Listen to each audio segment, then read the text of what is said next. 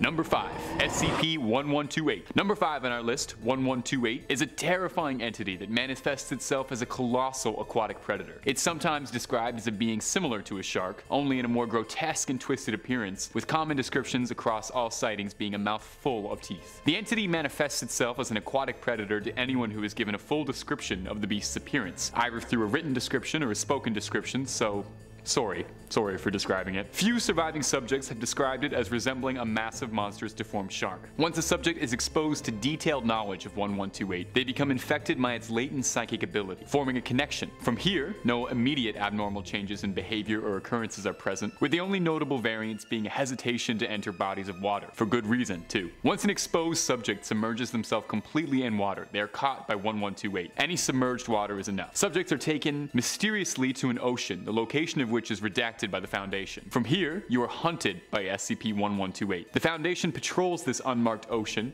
in a desperate attempt to contain the creature and protect anyone unfortunate enough to be caught in its trap. It's difficult to interview subjects after an exposure, as any detailed description of the encounter does run the risk of contaminating more Foundation members. Should a member or subject become infected by SCP-1128, treatment is immediately advised, with Class C amnesiacs being used to try and block memory of the entity. So, maybe for your sake and my sake, try to forget number 5 entirely, for your own safety. Now the Foundation does advise that if you've been enjoying the content that we produce, you should toss a subscribe our way. Number 4. SCP-1451 SCP-1451 is an odd one even by Foundation standards. SCP-1451 presents itself as a set of 26 metal statues at the bottom of the ocean. All appear to be statues of children of varying heights. The statues are all standing in a circle, holding each other's hands and facing outwards in a ring formation. Should any object, living or otherwise, with a mass greater than 40 gram enter into the ring, SCP-1451 begins to animate. The statues will shift themselves in a counterclockwise movement. Their hands will raise and lower slightly,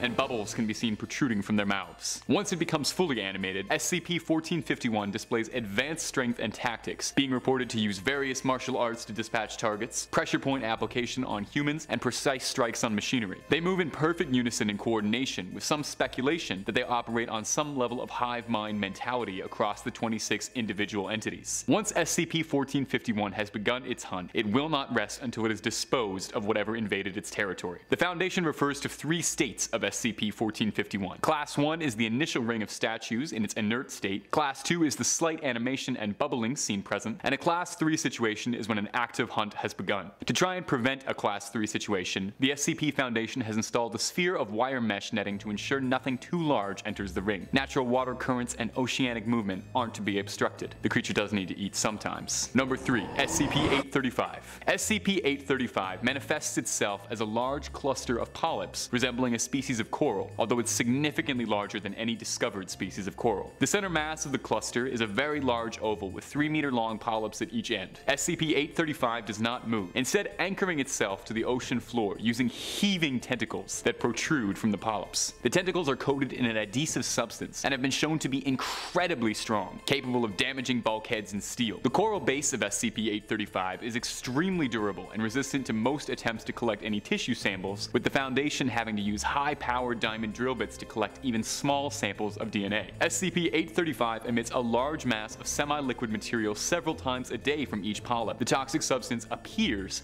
to be a mixture of digested solids, fecal matters, several bacteria, viruses, and parasites, with many sequences having originated only from 835. So what exactly makes SCP-835 so threatening? Well, sample reports from SCP-835 have shown that it's comprised almost exclusively of human DNA. Its hard shell seems to be recycled tooth enamel, its tentacles matching human flesh. A level 4 clearance declassified document from the Foundation detailed an encounter with an underwater isolation team, in which an incident in which two members of the isolation team were swallowed by SCP-835. Pulled in by its tentacles deep underneath what they had initially thought to be a cave, but realized was the contents of SCP-835's stomach. The crew members reported descending deeper and deeper, spending up to 72 hours inside the creature's digestive tract. The insides of its intestines lined with remnants of unfortunate victims, claiming that they had been morphed into flesh and there was a wall of faces crying for release. Eventually, one of the crew members was released, though after significant breaches to its suit, Unfortunately, he had to be let go from the Foundation. We thank him for his service. Number 2. SCP-1092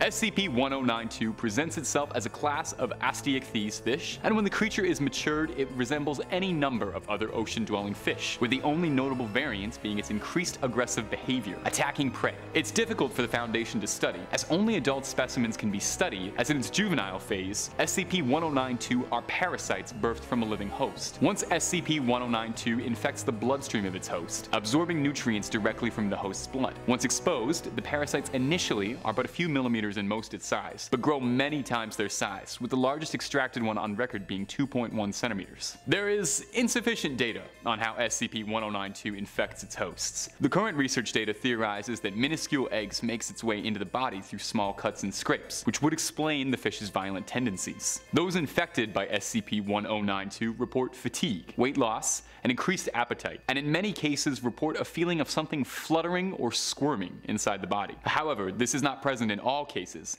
as there are reported case files of hosts not experiencing any visible symptoms whatsoever until the parasite has unfortunately matured to its adult aquatic stage. Once the parasites have matured, the now adolescent creature will try to forcibly remove themselves from the physical body of their host, using their sharp teeth to cut through blood vessels and skin. Subjects at this stage will sustain injuries, severe blood loss, and in some cases worse. Thankfully, the SCP Foundation has effectively secured SCP-1092, keeping it housed in a completely watertight cell, where it is given the occasional domestic pig to act as a host for its reproductive cycle. Poor little piggy. Thank you, piggy. Thank you, Foundation. Number 1. SCP-3000. SCP-3000 is one of the most powerful SCPs currently being monitored by the Foundation. SCP-3000 is a Class 8 cognitohazardous entity and is a Level 5 classified document. I really shouldn't even be talking to you about this, but it's good to get this information out there. It is a massive, massive aquatic sea serpent that closely resembles a moray eel, only gigantic. There's been significant difficulty in efforts in trying to document its true size, but it is estimated to be anywhere between 600 and 900 kilometers in length, with its head measuring roughly 2.5 meters wide and its body as large as 10 meters in diameter. SCP-3000, thankfully, is typically a sedentary creature, not moving much at all, usually only responding to feeding. The majority of its body rarely moves.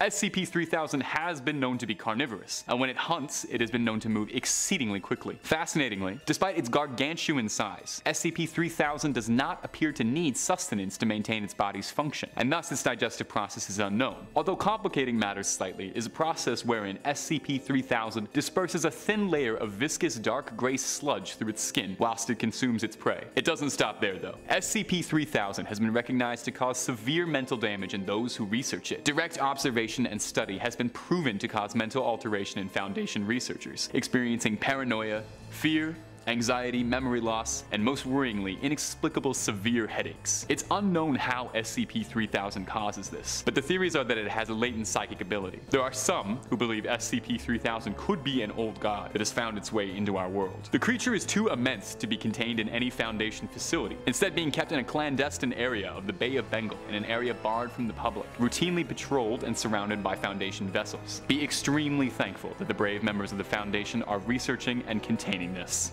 Secure, contain, protect. Those are the goals of the Foundation. Number 5. The Lernean Hydra. I'm no Hercules per se. Yeah, nothing. But thankfully, actually, because those are pretty big shoes to fill. Because that dude had to be brave beyond just like deep breaths and good pep talks. Guy had to literally fight like a 10 story condo building. How does one dude equipped with a club and a sword kill a 10 story building with teeth and three heads? Well, five heads. Well, 10 heads. Depending on how many you cut off, I guess. I guess that's why his name will be remembered and mine will be lost at sea. I guess he was a demigod, half powerful, half regular, a little unfair. By the way, which Hercules did you grow up on? I grew up on the Disney version, and Kevin Sorbo. Ugh, what a hunk. But there's been a lot, including the ancient real guy. She's known as simply the Hydra. As a serpentine water monster in Greek and Roman mythology, it's terrifying. Its lair was at the Lake of Lerna, also known to be the entrance of the underworld. Yikes. In the myth, the monster is killed by Heracles, Hercules, as the second of his 12 labors. Okay, so this guy did it and then went on to go and do like 10 more. 10 and 0. Like, how hard can it be, right? I mean, it does have multiple heads. Yeah, it does have that. Also, apparently has poisonous breath and blood so violent that uh, its scent is even deadly. Later versions of the Hydra story added regeneration to the monster's abilities too, so it can just start growing heads back at will. For every head chopped off, the Hydra would regrow two heads. So every time the Meg bites a head, two more. Another two are growing. Yeah, good thing this thing was hungry and swallows whales whole because uh, that's gonna be a lot of protein. Number four, Jormungandr. Keeping it in the mythology department, we head up a little north. Jormungandr, aka huge monster, also known as the Midgard serpent or the world serpent. It is a sea serpent and the middle child of Loki and giantess Angrboda. And those middle children, huh? Always the problem kids. I would know. I am one. According to the prose Edda, Odin took Loki's three children by Angrboda, Fenrir, Hel, and Jormungandr, and tossed Jormungandr into the great ocean. The serpent grew so large that it was able to surround the entire earth and grasp it in its own tail, as it's referred to as well, the world serpent. And apparently, when it releases its tail, Ragnarok will begin. Yeah, basically a destruction to the end of the world. Yeah, all this rich history is so heavy and gloomy, isn't it? Isn't there like a, the sun will shine like California for all to enjoy? Like, where's that written down? Nowhere, huh? Just cataclysms and monsters. Jormungandr's arch enemy is the thunder god Thor. And apparently a megalodon too. Cause let's face it, a giant serpent versus a four story great white, it would definitely be a good fight. I think if Thor showed up and started smashing up both, it would literally be the best Marvel Universe movie yet. Another encounter comes when Thor goes fishing with the giant Hymir. When Hymir refuses to provide Thor with bait, he strikes the head off Hymir's largest ox to use as his bait. Okay, easy, Roid Rage. Sheesh. They row to a point where Hymir fishes, he prepares his fishing line and a large hook and baits it with the ox head, which Jormungandr bites. Thor then yanks the serpent up from the water and the two throw hands. Okay, so it sounds like it isn't that big. I mean, it's huge, but the wrapping around the planet has got my dimensions off. Maybe it was like a metric versus imperial thing back then. I don't know. What do you think? Comment down below who would win because when it gets into mystical powers and stuff, becomes a little unfairly matched. No? Number three, Cthulhu. Come on, we know this guy. Now this would be a good fight. This is sort of fathomable. Well, kinda. An extinct shark versus a made up ender of worlds. Cool, let's do that. Basically a giant humanoid octopus dragon versus the Carcharocles megalodon, a triplex size apex predator. It's definitely gonna be in Vegas and pay-per-view, I'll tell you that for free. Cthulhu is a fictional cosmic horror entity thought up by the twisted mind of cosmic horror writer H.P. Lovecraft. First introduced in his short story called the Call of Cthulhu, published by the American pulp magazine Weird Tales in 1928. He's like the first creature Lovecraft pondered up. He's terrifying. He's supposed to bring Armageddon upon us when he wakes up from the bottom of the ocean. Yeah, again, not all sunshine and rainbows with these stories. Actually, like ever with these stories. Cthulhu is a great old one, almost the god of all gods in these stories. All these characters intertwine and apparently he's our last call. Lovecraft depicts it as a gigantic entity worshipped by cultists in the shape of a green octopus dragon humanoid bipedal creature. And it's like 10 stories high. Yeah, like massive. Like us looking at toy army men. The Lovecraft universe, aka the Cthulhu mythos, its appearance alone is enough to haunt your dreams. Lovecraft describes this guy as a face full of octopus-like feelers, a scaly, rubbery looking body, sharp claws on its hands and feet, and of course, dragon's wings. So it can fly and swim. In other words, the worst thing you can imagine.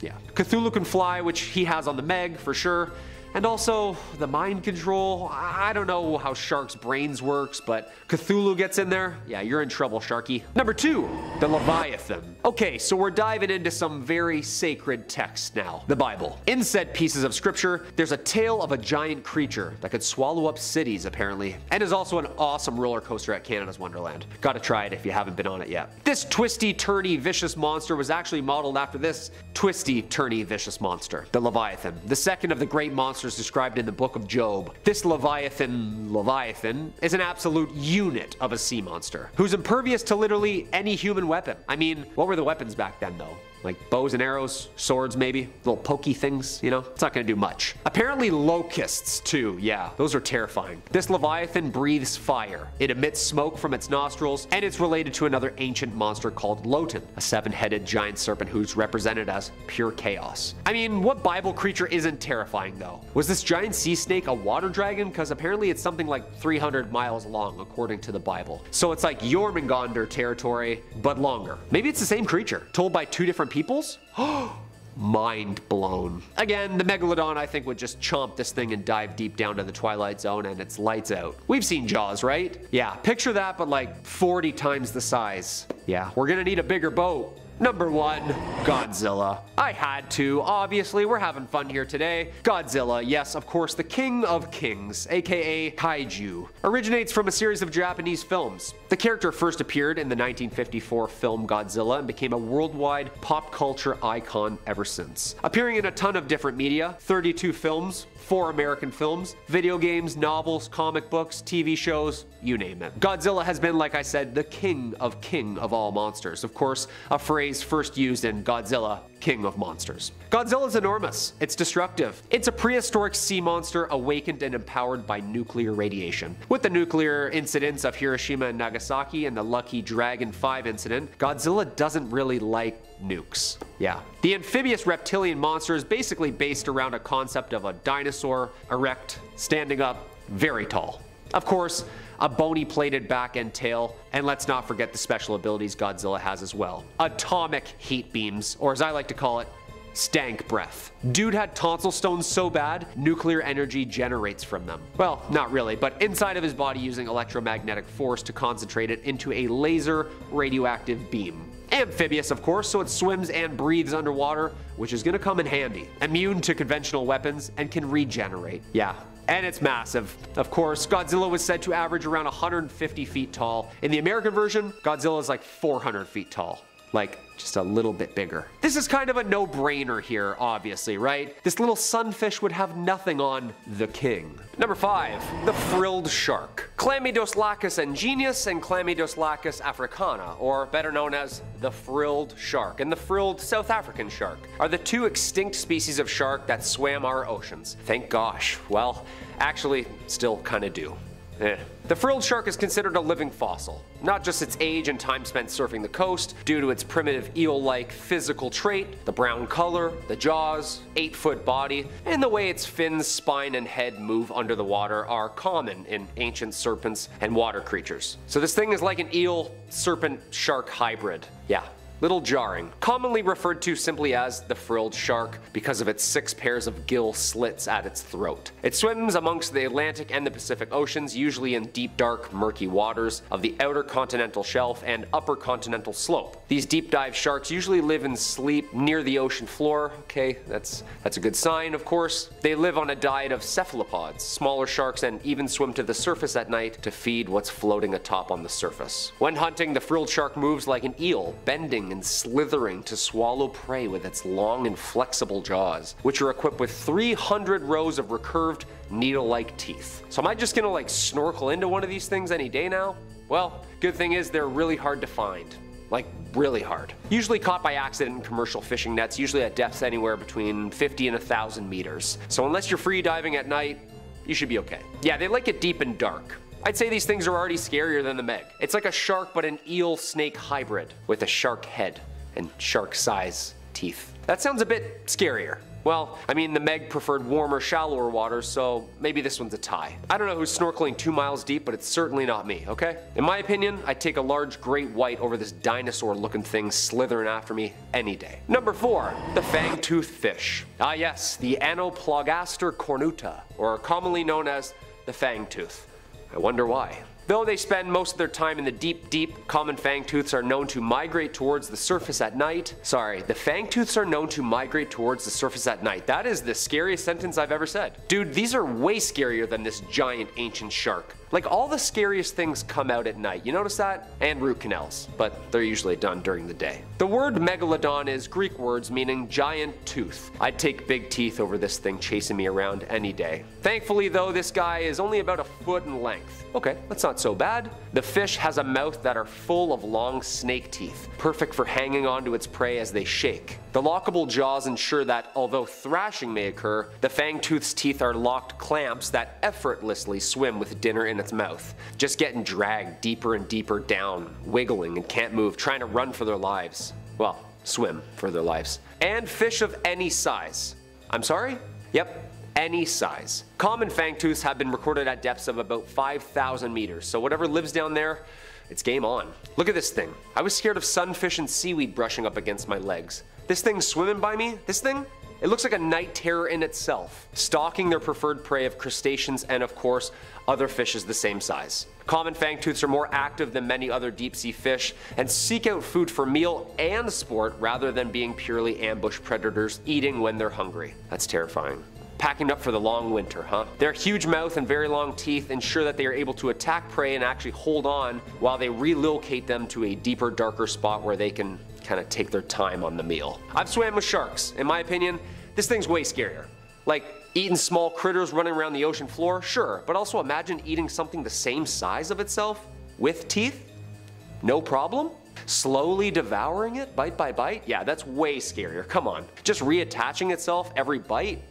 taking you along for the free ride? Yeah, that's, that's, that's horrifying. And number three, the big fin squid. Of the genus Magnapinidae family, the big fin squid, or as I like to call it, this ocean alien with shoulders, belongs to a group of rarely seen cephalopods with a distinctive morphology, meaning they're really, really weird and rare. Magnapini meaning big fin, of course. The first record of us catching and looking at this family comes from a specimen talismani caught off the Azores in 1907. This was our first look at this bizarre fish, but due to the damaged nature of the find, little information could be extracted and was classified just as a squid. The problem is when you pull these things out of its atmosphere, it just looks like a piece of wet crinoline dress all of a sudden. Don't get the whole terrifying effect, you know? In 1956, a similar squid was caught in the South Atlantic but during the 80s, two specimens were found in the Atlantic, then three more were found in the Pacific, and eventually the creatures found a place amongst the books as its own species, entering the family Magnapinidae.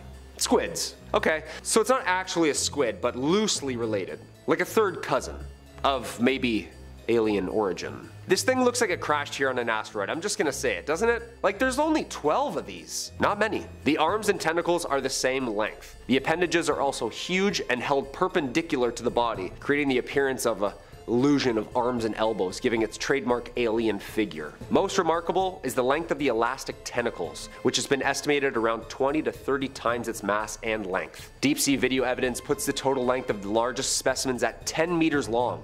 Yeah, that's two trucks. Close-ups of the body and head show us that the fins are extremely large, being proportionately nearly as big as those of a big fin squid. Hence, the comparison.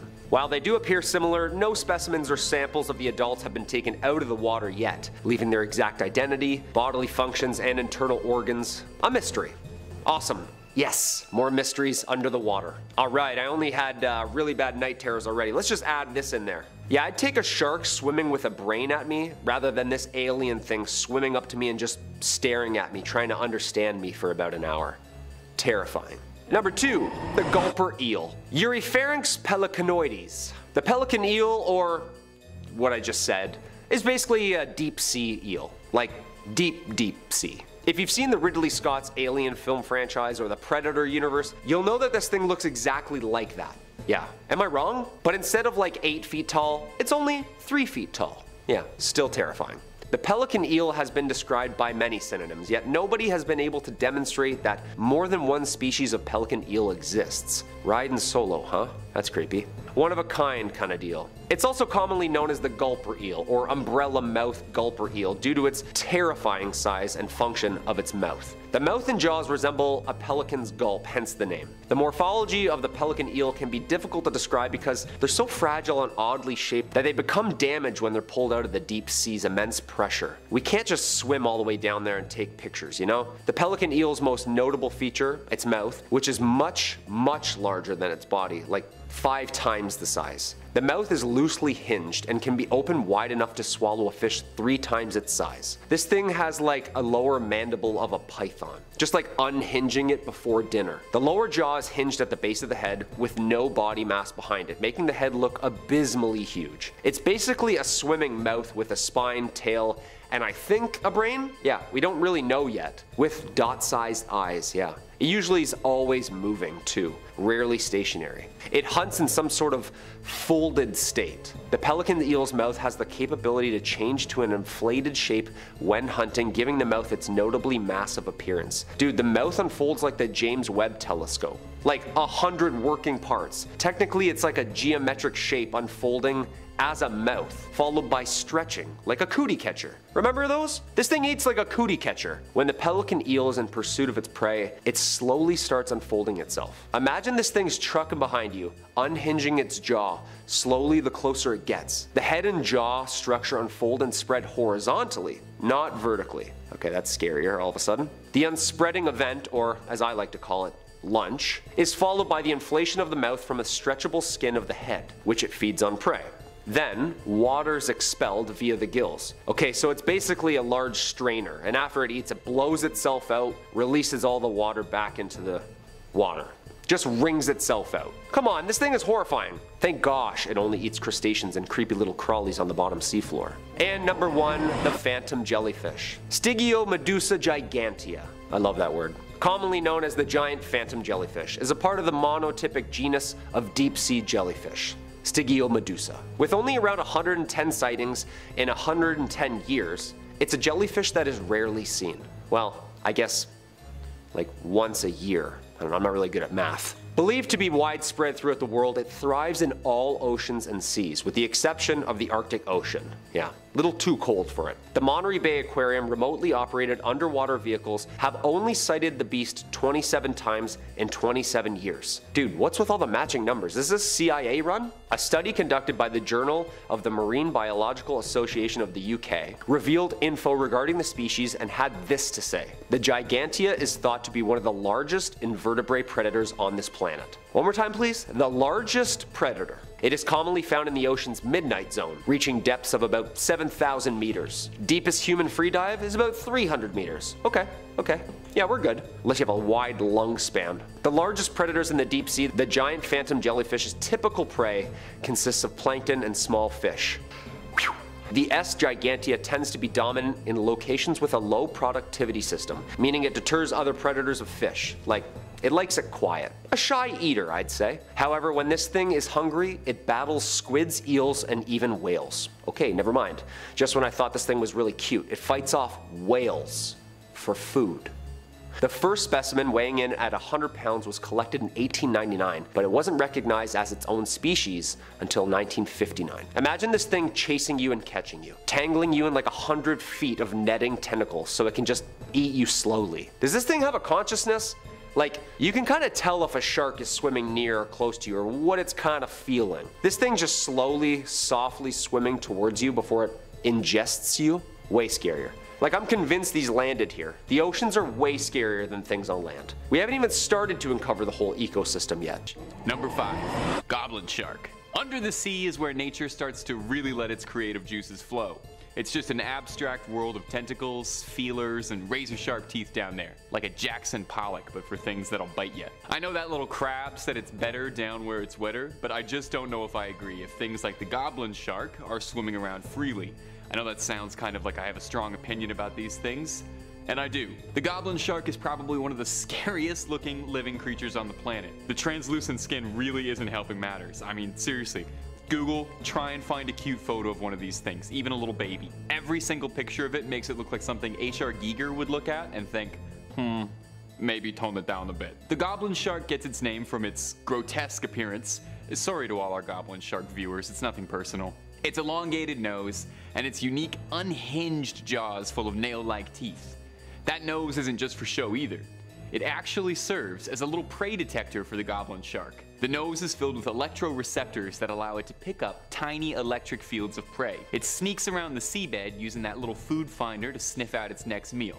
Electrically charged tracking sharks with monstrous teeth. Wasn't that literally a joke in one of the Austin Powers movies? Goblin sharks actually can't even close their mouths fully, with their teeth always being visible, just to let you know what they're packing. I think as a general rule of thumb, you should stay away from any creature scientifically named after a goblin. That's advice that has done me well, that's advice that has served Spider Man well, and I am passing that on to you. Having a good time so far?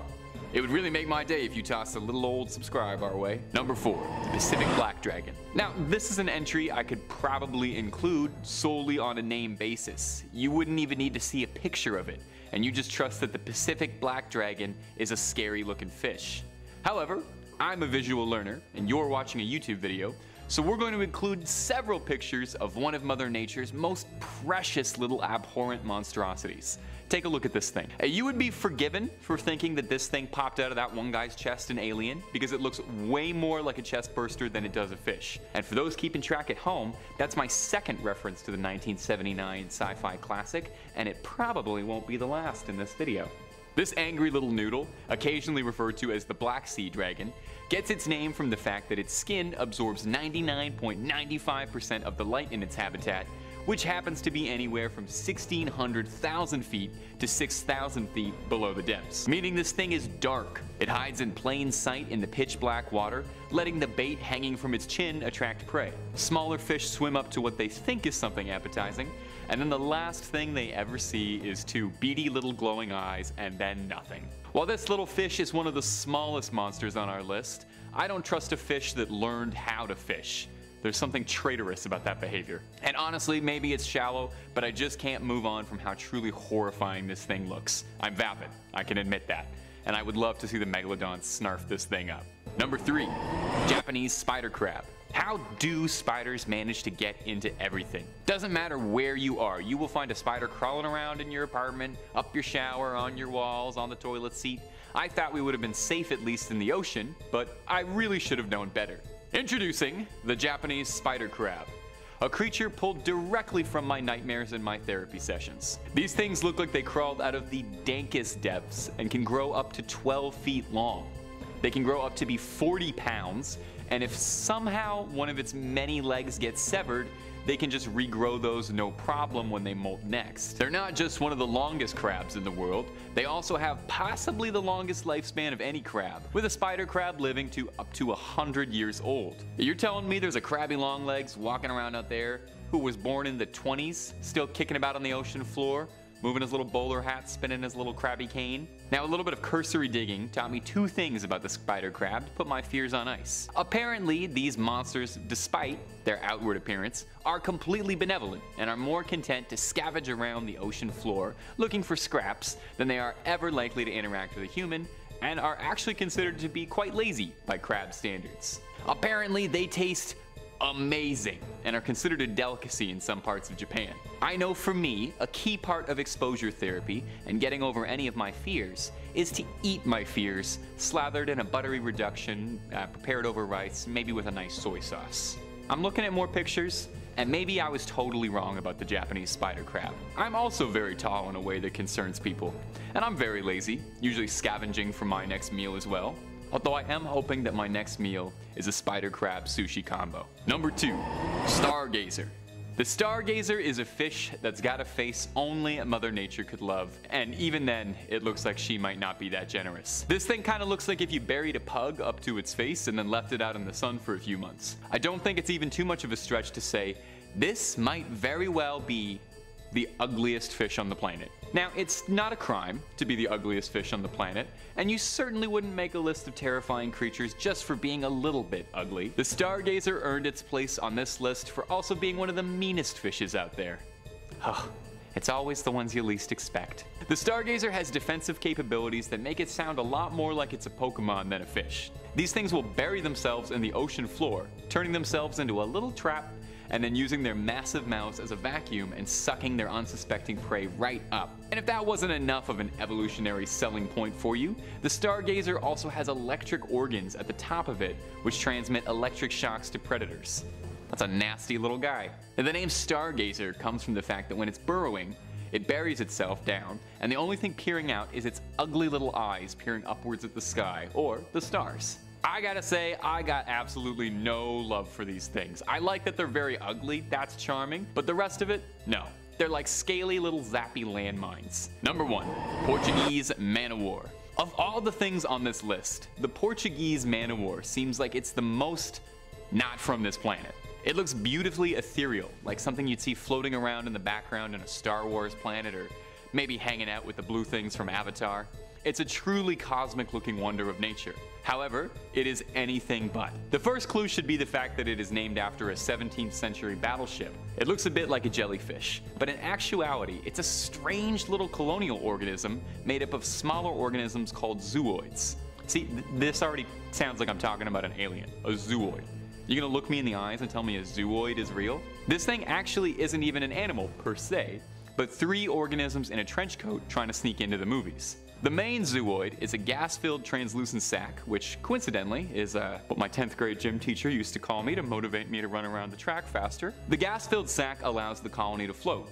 The man o' war has no means of movement, instead having to rely on the currents of the ocean to direct it around. Real go with the flow type of organism. Not a bad attitude, to be honest. Now the next zooid, oh, I am never gonna get used to saying that are the tentacles, which are really the star of the show here. The tentacles on a man of war reach lengths of up to 165 feet. Now I'll run that by you in case you heard that, fainted, and didn't quite catch what I said. Get up off the floor. Their tentacles can get up to 165 feet long. That's really long. The tentacles, which mind you, carry a sting like a jellyfish's. It's been known to cause paralysis, is enough to kill a fish, and has been on some occasions enough to be lethal to humans. One Redditor recounts a painful story of a vacation to Cuba, strolling a beach and seeing what they thought was a plastic bag floating in the water. They then went to pick it up, and as they described, the next thing I knew, I woke up in the hospital in a vinegar bath with a morphine drip, a team of doctors extracting the tentacles that were stuck into my hand. That's enough to keep me away from the water for a bit and maybe uh, prevent myself from ever doing a good deed, try to pick up some litter. I feel like even the Megalodon might want to be careful around this strange monster.